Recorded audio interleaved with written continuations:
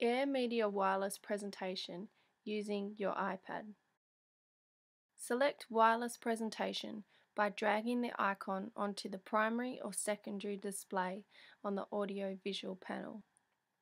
Download the AirMedia application from the iTunes App Store. Enter the address you see on the projector into your AirMedia app and tap to log in. Enter the code you see on the top right corner of the projector screen image and click Connect. You are now able to open your iPad's documents, videos and images to share them on the projector screen image wirelessly. The app also allows you to instantly take photos and screen captures for sharing to the projector. To stop sharing from your iPad, simply close your AirMedia app.